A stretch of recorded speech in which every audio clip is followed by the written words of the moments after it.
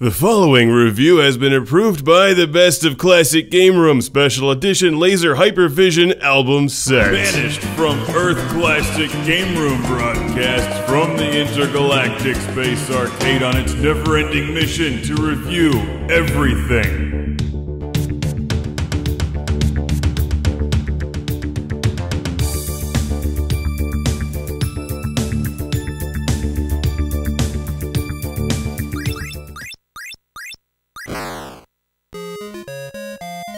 Welcome to a very special classic game room because it's one of my favorite games. Why did the frog cross the road to play Atari computer? It's Frogger.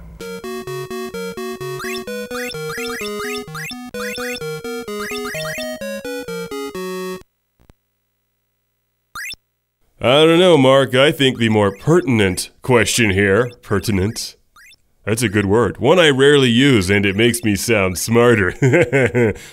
uh, where was I? Oh, yeah. The more pertinent question is why has this frog never learned to swim? It's been like 30 years. Take some lessons. Just go down to Target and buy some floaties. They're like five bucks. That won't save you from being squashed by vehicles, but at least you won't drown. Also, you're a frog. You should really swim. But then I guess the game wouldn't be nearly as much fun. It's Frogger! Make your way into one of the five frog docking stations, score points, and stay alive.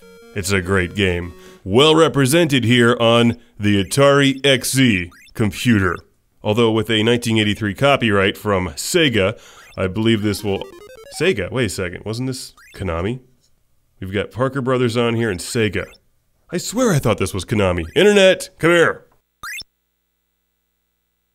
That's how it works around here. I call the internet and it comes running. Yes, it was Konami.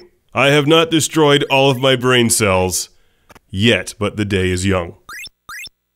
So Sega must have published this one, and Parker Brothers just put it in one of its funky Parker Brothers cartridges. Those brothers were silly. Anyway, as I was trying to say before I distracted myself, this is one of the older Atari computer cartridges. It should play on the older Atari computers as well. It's basically the same version of Frogger you would get on the Atari 5200, except, and I should just make a soundbite out of this. The Atari 5200 controller sucks. Everything is better when played with the Sega Genesis gamepad. That would make a sweet ringtone, too. Anyway, if you were born after, um, uh, what, the hell year is this anyway? 2014? Did the 90s even take place? Or did I just forget them?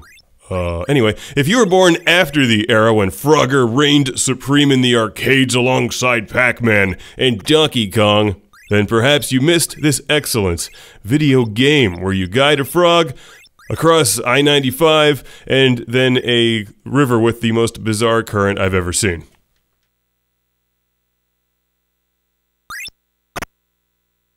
How does the river do this?